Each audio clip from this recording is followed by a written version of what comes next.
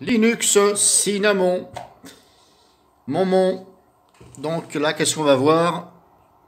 On va voir comment changer les thèmes du menu démarrer. Et puis la barre euh, de lancement rapide en bas. Que vous voyez ici. Donc désolé, il n'y a pas trop de lumière. Alors un clic droit sur la barre de lancement rapide. Et vous allez sur euh, thème.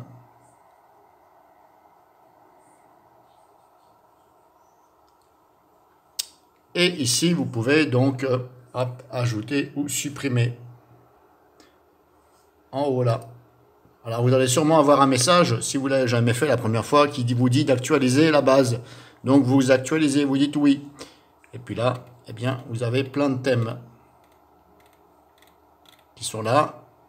Bah, pour les installer, il suffit de cliquer sur la flèche tout simplement. Et pour l'activer, vous allez sur thème en haut. Donc là, on était là.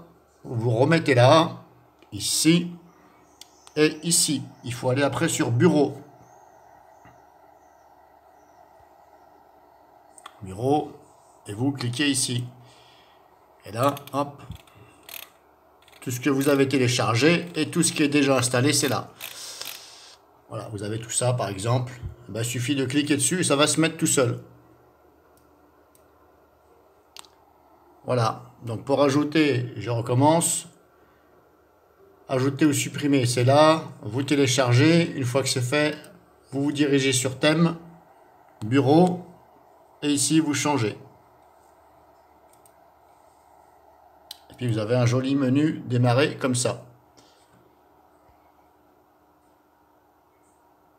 Alors c'est une solution Linux Cinnamon de Manjaro, c'est une solution adaptée euh, bah, aux débutants.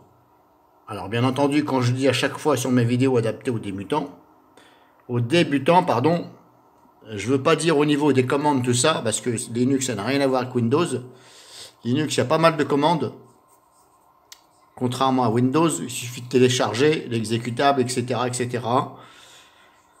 Je parle du principe quand je dis aux débutants, c'est-à-dire que vous allez... Euh, voilà, c'est comme si vous étiez, bah, je ne pas dire sur un Windows, mais grosso modo, voilà, vous avez poste de travail, dossier personnel, le menu ici, démarrer, voilà, grosso modo, c'est pour ça que je dis, voilà, c'est au débutant, ça ressemble grosso modo, voilà, bon, je ne veux pas dire que ça ressemble à Windows, mais voilà, c'est, ça ressemble quand même, voilà, du Windows, bon entre parenthèses, hein, je parle du menu démarrer, etc. Voilà.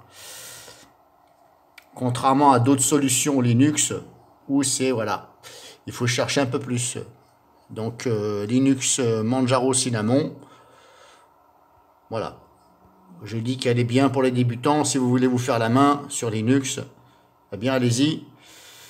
Je ne vais pas dire que vous ne serez pas trop déboussolé par rapport à Windows. Je prends référence à Windows, hein, parce que je ne connais pas Mac.